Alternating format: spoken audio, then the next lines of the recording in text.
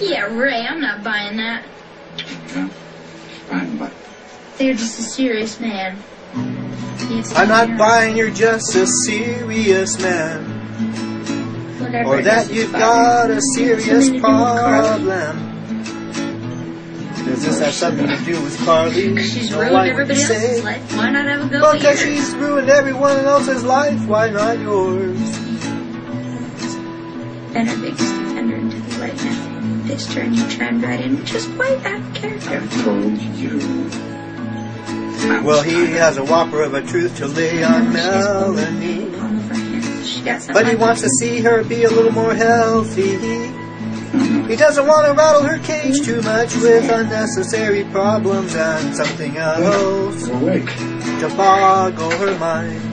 What if he told her in the hospital in her bed, laying there, the patient. I'm your long lost father, I just found out from Carly there. We are your parents, Carly and I. Even though we haven't got a family, it can make you want to die. Melanie, a gentle soul, with a few knickknacks of problems, you know.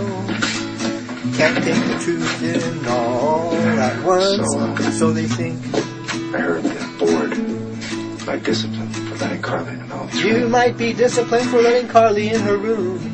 Well, let's not. The board might do that, Wait, and not too soon. I have your back.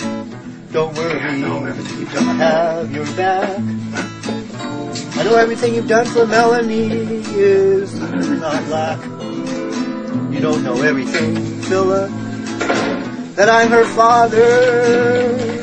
That's gonna be Hey, Chloe, the Dr. Cornerstone I was just of thinking the about you. building. you were? Foundation for? Melanie. Um, I, maybe it's a coincidence. I've been trying to get in touch with Daniel, but he's not answering his phone. Well, really? You're still not done with them? You don't think you've done enough damage? Excuse me? Don't play innocent with me, okay?